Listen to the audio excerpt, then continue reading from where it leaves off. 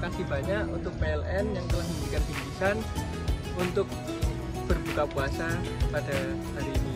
Terima kasih kepada PT PLN Persero untuk kegiatannya yang pembagian takjil gratis ini karena ya sangat ya eh, bisa ya bisa sangat bermanfaat untuk eh, keluarga-keluarga yang istirahat di rest area jadi sudah langsung dapat takjil lagi nggak tunggu untuk nyari.